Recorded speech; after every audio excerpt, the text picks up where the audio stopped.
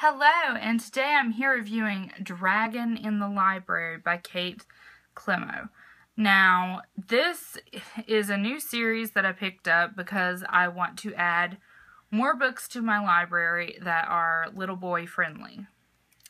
So, I picked up Dragon in a Sock Drawer, which I've already reviewed, and I really, really loved it.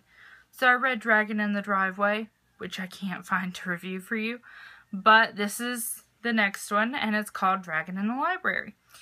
And this one is so cool because as a book lover, we all love libraries.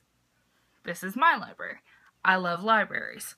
So, this story takes place in a library and a magical book goes missing, a very important book that has been mentioned in the past two books of this series.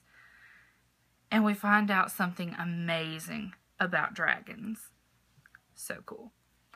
And so there was a lot of twists and turns in this. This is the perfect series for you to read at bedtime if you have a little girl or a little boy or if you have both.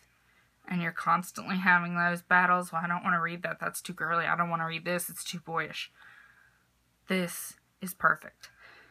Because the two main characters, one is a boy, one is a girl, and then there's, of course, the Dragon Emerald, also known as Emmy. And so this is just a really great middle grade series. And I've just, I've loved it so much. And I give this one 5 out of 5 because it did not take me where I thought we would be going. This was totally different. I can't wait to get the next one.